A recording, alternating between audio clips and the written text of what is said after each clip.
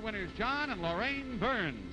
Yesterday, when we ran out of time, they were competing with dress designer Lucille Rivers and zoo curator Carl Kaufeld for a salary of $500 a day on Who Do You Trust? Now, here's the star of our show, Johnny Carson.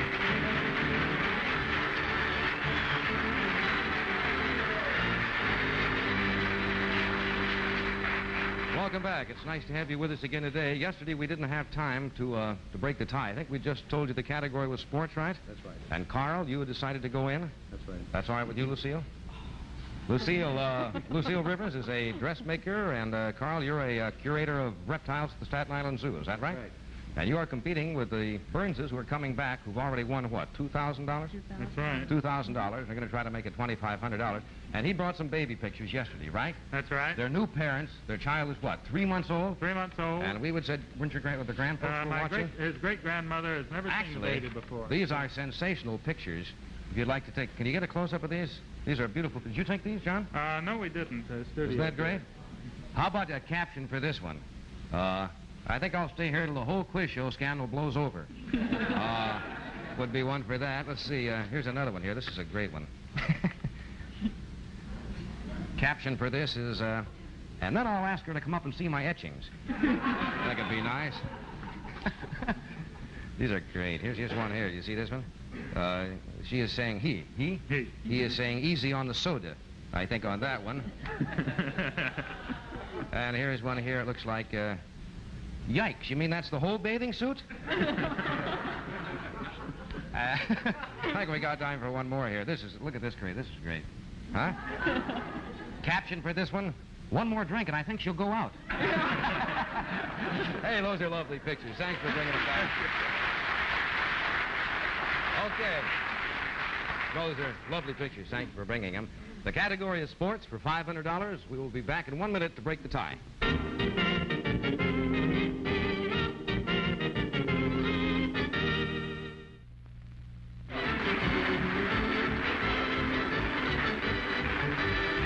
Here we go with the big question for $500. Uh, Carl, can you hear me all right? I can. All right, here's the question on sports.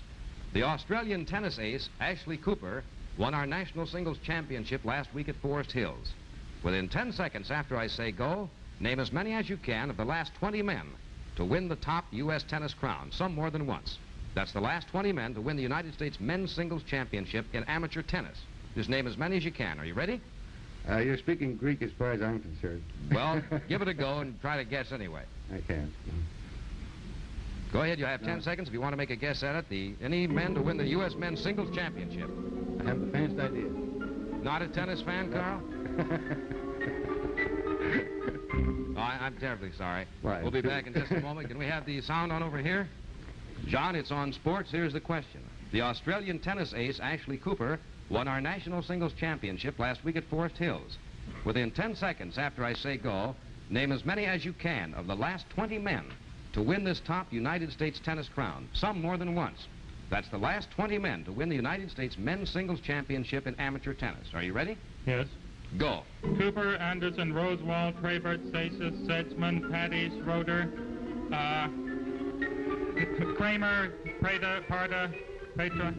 Okay, time is up. We don't have time to name all of them, but I think you named some of the top ones. Todd, who are some of the others? Uh, Ashley Cooper, Malcolm Anderson, Ken Rosewall, Tony Trabert, Victor Seixas, Frank Sedgman, Arthur Larsen, Richard Gonzales, John Kramer, Frank Parker, and of course Donald Budge, Ellsworth Vines, and William Tilden, among others. Carl Kaufeld, unfortunately, had none correct. John Burns had seven correct, so for $2,500, still chance, the Burns.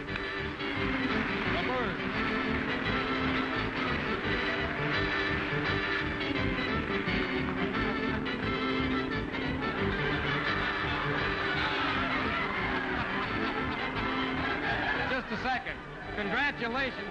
Thank you very much.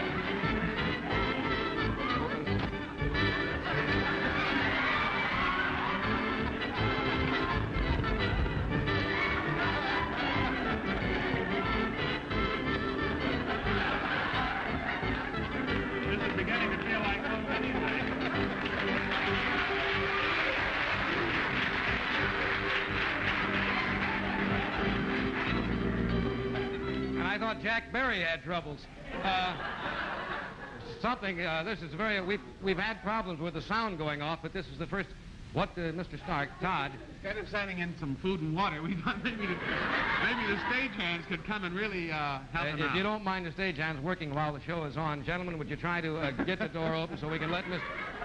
Mr. Burns is the winner, and that means you've won 20. Can you hear me, John? Yes, I can hear You've you. won $2,500, and you'll be back at the end of the show. We, Probably still be you can rest assured he'll be back at the end of the show. and you'll be going for $3,000. So, uh, Phyllis, if you'd just like to wait off stage. And fellas, uh, Carl, I'm sorry. you- right now, it's time to drop dead. And uh, Todd, who's the? We'll have you out in a minute, John. I hope. who's the first couple to try for the $500 today? Well, Johnny, to start us off today, a couple from New York City. Meet Pauline and Art Wexler.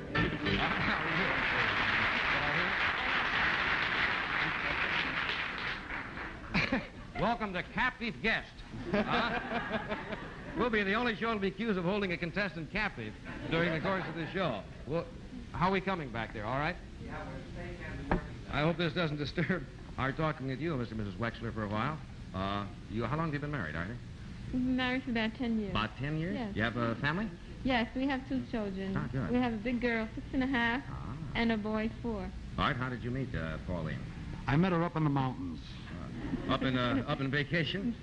Yes, I used to do sort of mountain climbing and uh, Oh, is that right? stood at a hotel up there. Yeah, that sounds pretty good. Kind of romantic. Does he still uh, climb mountains, Pauline? No, he doesn't do any of those romantic things anymore. No mountain climbing, no nothing. Just past your peak, huh, Arthur? Huh? Tell me this. Uh, did you start seeing Pauline after you got back to New York? Yeah, I started taking her to a theater. Her father was uh, her father was an usher and used to get us free tickets. Your father was an usher and used to get you free tickets. Her huh? father was. Who? Your father. yes, my father was. Do you remember how he proposed? Yes, we were sitting in the theater when he proposed to me. In the theater? Yes, it was dark. Uh-huh. Good old dad and his theater tickets, huh? Now, did you accept the... Why don't you blast?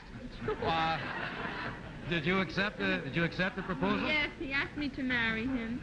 Ah. And he leaned over and kissed me, and I said yes. And then the whole world seemed to light up. It was like a ball of fire. It was probably your dad with the flashlight, I imagine. Yes. It was his theater, huh? How much later were you married, Pauline? Do you remember? Yes, eight months later. Eight months later? Where'd you go for honeymoon? Back up to the mountain? We went uh, to uh, Catskill Mountain Resort. Ah. Yeah, Is that a good place for honeymoon? the very best. He's sitting down now.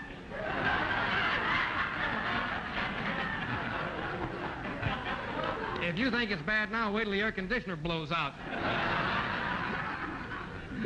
Uh, tell me this: uh, you were uh, you um, you how was the honeymoon up in the Catskills? You said it's a nice place to have a honeymoon. Terrific, terrific. Uh, for one thing, I had met a fellow up there who was also on his honeymoon with his Ah. wife. Lots of people go there, don't they? Yeah. And uh, both of us would have eating contests together, see. You'd have eating contests together. What do Yeah. you mean? Well, uh, every breakfast, he would only eat 10 eggs. I would eat a dozen. Where was Pauline? Was she in on this contest too? No, she generally stayed up, uh, didn't have breakfast. She Yeah. stayed up in bed. Gee, you didn't know the fun you were missing, huh? How long? Did, now you ate a dozen eggs a day on your honeymoon. What'd you do for dinner? Well, for dinner, it was the other way around. He would beat me. he would have four steaks. I could only eat three. I've never heard of this on your honeymoon. Didn't it? Didn't it kind of make you feel overstuffed? No, I used to work it off. Yeah, I was supposed to. yeah, the badminton games up there, and horseshoes and tennis. It's... Wally, what would you what would you do if you won five hundred dollars? I took out some accident insurance for him. Hey, he's out, ladies and gentlemen. Mr. Burns is out.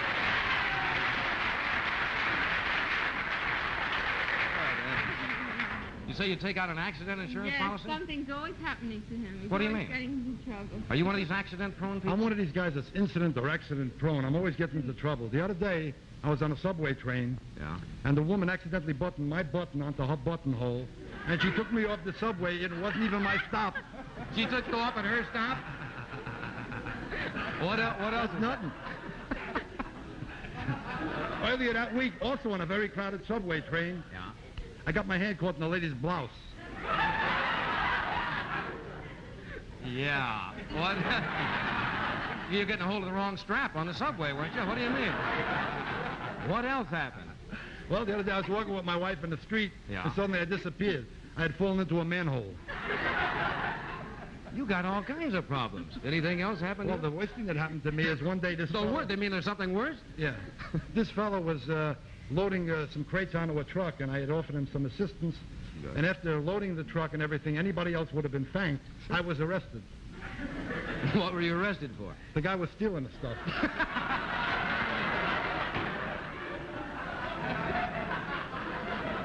got enough troubles, Art, to be your own soap opera, you know? I wish we had longer to talk with you. It's been a lot of fun. Uh, nice to have you with us. What would you do with $500 outside of buying the insurance policy? Anything else? Yes, well, we have some bills that I have to pay off. Always do when you have children, don't you? Yeah. Nice to have you with us. And in just a minute, we'll play Who Do You Trust? We'll go away.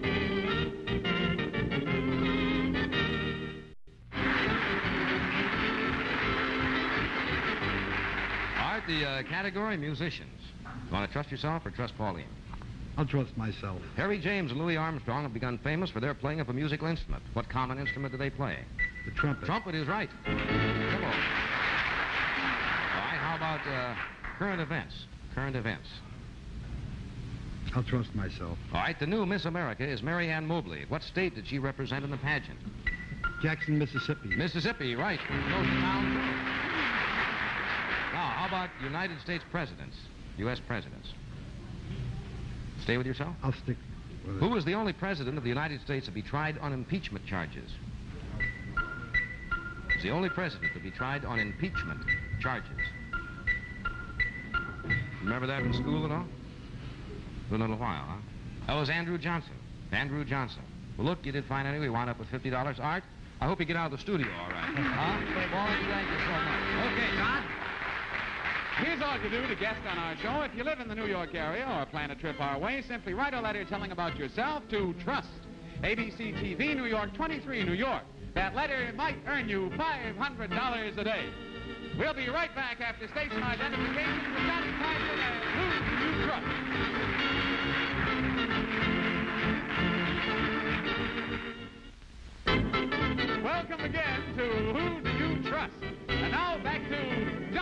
Carson. Thank you. Thank you, and welcome to Inner Sanctum, the, sque- the squeaking door. Todd, who's, uh, who's first today? Second today? Well, two sisters. Let's bring anybody on. two sisters say hello to Sylvia Kaufman of Flushing and Nikki Hirschsprung of the Bronx. Welcome, gal. Both sisters, huh? Yes. From the Bronx. Which one's Nikki? I'm Nikki, and You're this Nikki. is Sylvia. You're Sylvia, huh? What uh, what was your maiden name, gals? Our maiden name was Hirschsprung. Boy, was I glad to change that. Hirschsprung? Hirschsprung, that's right. That is kind of unusual, isn't it? Well, it is an unusual name. It's a name uh, of a disease of the lower colon called Hirschsprung's disease. You were named after a disease? Is that right, really?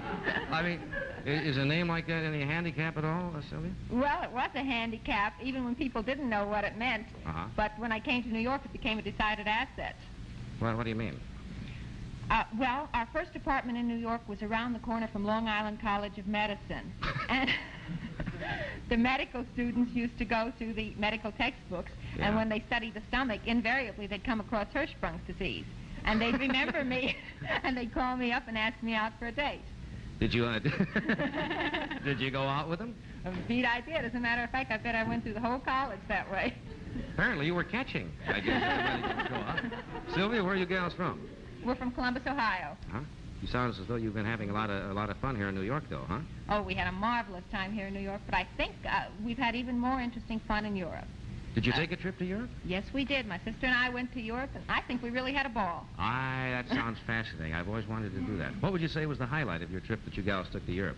Well, the highlight of my trip was a bullfight I saw in Spain. Do you like bullfights? Are bullfights really as interesting as they say they are? Well, for me, they were that interesting. I was sitting up in the front row at a bullfight, uh, and I was very busy taking pictures with my movie camera. And the bull jumped the railing and came toward the people in my section. And everybody, everybody around me ran like blazes. But I stood my ground. I was so busy taking pictures that I don't think I realized what I was doing. I even moved in closer to take a better picture of the bull. Good heavens. I think I'd have got a case of Hirschsprung right there. oh. Well, well, what happened anyway? Well, they got the bull back in the arena, and later the matador awarded me the bull's ear. Why, did- why did he give you the bull's ear? Is that the... Well, it's supposed to have some kind of symbolic meaning. Maybe he wanted to hear from you or something like that? Vicky, how about you now? Did you come back with some exciting uh, souvenirs? Uh, Oh, I came home with my husband. I think that's a wonderful souvenir. is that right? Yes, I met Whereabouts now in France, or Europe? France, was it? Yes, I met him in France. Ah, is he a Frenchman? No, as a matter of fact, he was an American boy. He was touring Europe. Now, that's just kind of romantic. Two American tourists uh, meet and fall in love in, uh, where was it, in Paris someplace? Yes, it was. That's certainly kind of romantic. Now, where'd you meet? In one of those little left bank cafes or at the Champs-Élysées or something like that? Uh, Well, not quite. As a matter of fact, I met him on a boat trip in the Paris sewers. You met him on a boat trip through the Paris sewers. It's kind of like the Tunnel of Love, though. Now, what do you mean? What, what kind of a trip was this? Through the, Well- you go through the sewers. Uh, well, it's one of the tourist attractions in Paris. It's, uh, these are the sewers that they write about in stories like The Count of Monte Cristo and Les Miserables. And they uh, take you through them on tours two days a week. Good heavens. Is there anybody water ski down there or anything like that? well, what, what kind of boat boat was this? It was a rather large boat, but there were only five of us in it at the time. What is it? Is it, a, a motorboat or what? No, as a matter of fact, they rowed it. It's probably one of the rules down there. Don't make any waves, huh?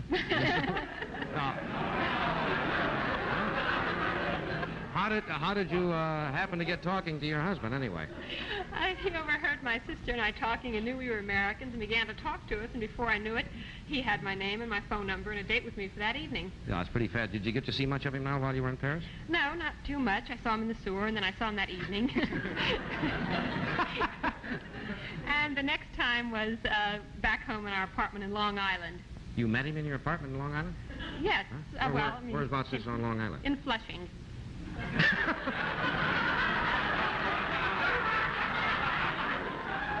Where else? Where else would it be? Gee, that's kind of your song, isn't it? Uh-huh. Vicky, how long have you been married? About two and a half years. You have a family? No, not yet, but I hope to have a large one. Ah, good. How many? Three, four, five? Four or five, maybe. How about you, Sylvia? Do you have uh, children? I already have one son, Michael. Hi, Mike. Ah, How, how old's Mike? Oh, he's 15 months old now. 15 months, huh? Yes. What would you gals do if you won 500 uh, bucks today? I'd sort of like to dabble in the stock market, I think. I've always wanted Ah. to, but I felt that uh, I hate to risk my own money. With quiz money, it wouldn't be so much of a risk, I don't think, if I lost. I guess they say if you, you can go ahead and, and take a chance investing in the stocks as long as it's not something that you want to keep, huh? you you have any plans at all? What you would do outside if you got your 15-month-old son, right? Well, I Mike? think I'd hold some of my money so I can keep her out of the poorhouse. You gals have any hobbies at all? Anything you do in your spare time? I skin dive. Really? Yes. Are you a skin diver? Yes. With a mask and the, and yes. the snorkels? I had a fascinating experience. Tell us about it. what happened. Uh, well, we were down in Martinique uh, in a little harbor called Anse-Mitan, and there was a sunken submarine in the harbor. And both my husband and I swam down to investigate it. We How kept deep, looking how deep was this now? Well, the harbor is a very shallow harbor. I'm not very good at estimating, but I'd say it was about 30, 40 feet. Wow. Uh, we never did see any bodies, but we kept looking. Did you explore the submarine? yes, we did. What's the trick in skin diving? Is it difficult to learn to do?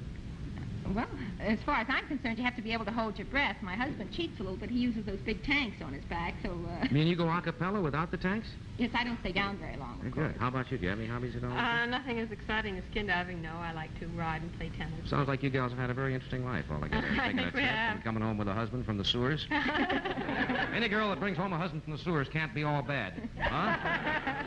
We're very happy you could be with us on the show today. Well, it's lots of fun being uh, here, John. Just a moment, we'll play Who Do You Trust, and uh, we'll let you decide who's going to answer the questions, all right? All right. We'll be Thank back in one minute to play the game.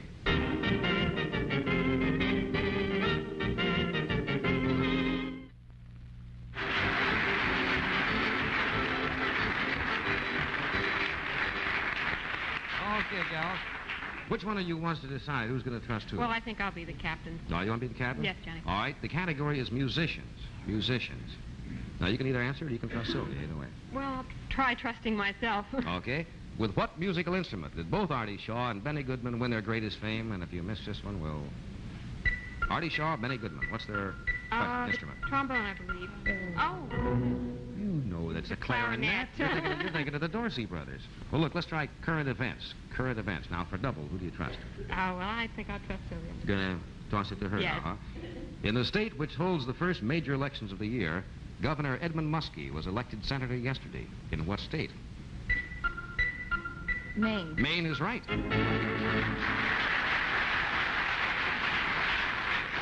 Now, United States presidents. Who do you trust to double the dough? I think I'll trust Sylvia again. Calvin Coolidge succeeded to the presidency upon the death of the 29th President of the United States. Name the man. Harding. Warren G. Harding is right. Thank you so much. Nicky, we'll see you in a few moments. Thank you very much, Al. Todd? We have a tie, Johnny. The sisters Sylvia, Nicky, and the Wexlers. Okay, uh, Nicky, since you're the captain of the team, would you step up uh, over to the board here where your name is? And uh, we'll have the playoff with Mr. Wexler here. Here is the question. Write your answer on the board. The winning answer, uh, you and your partner will come back to compete for the $500. Here's the question. A great world statesman is Sir Winston Churchill. In what year was he born? In what year was Churchill born?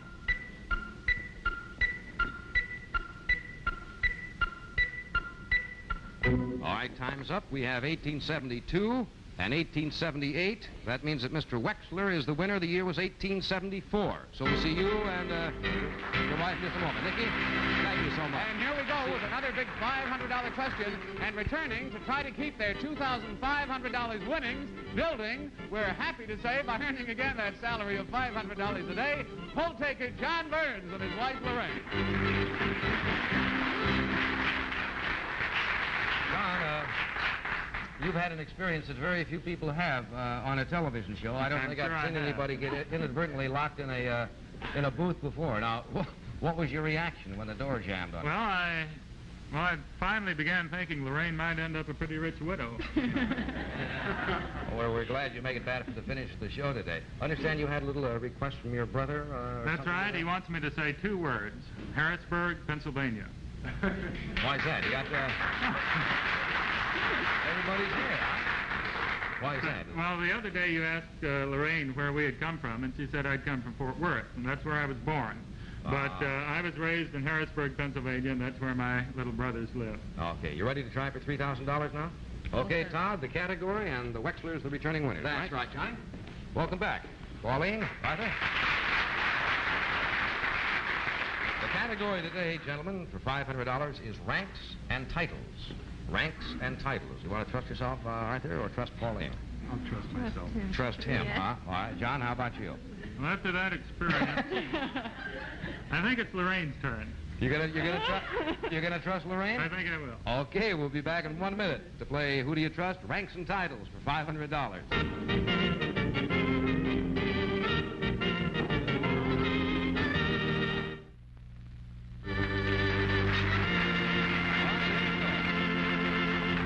Arthur, can you hear me all right? Right. Here's the question. In the peacetime Navy of the United States, there are 10 ranks of commissioned officers. Within 10 seconds after I say go, name as many as you can of the 10 ranks of Navy officers, officers commissioned by the President. That's in the peacetime Navy. Do you understand the question?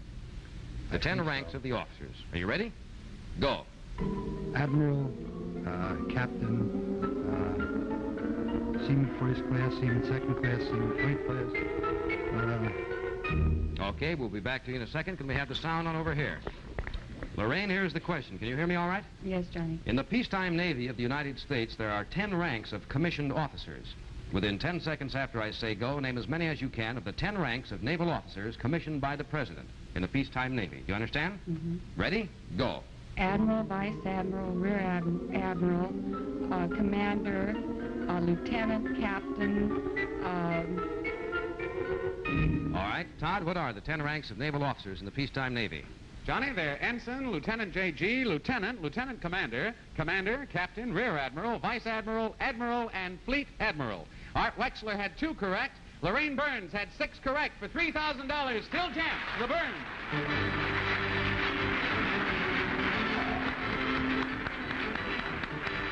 Well, you know your admiral. Huh? Arthur? Sorry you didn't do a little better. it's all right. I enjoyed Yeah, it I'll very just going in there, and we're glad we got you out of the uh, out of the room this time. it was a real pleasure having you with us. Thank Pauline and Arthur, you wound up with what, uh, 50 $50 today? Well, good. We hope you enjoy it, and uh, thanks do. for being with us. You uh, and John will be back with us tomorrow. Yes. You'll be going for three thousand five hundred dollars, and we'll get the door fixed. All right? It's a good idea. Thanks for being with us, everybody. We'll see you tomorrow at the same time on Who Do You Trust? Bye now.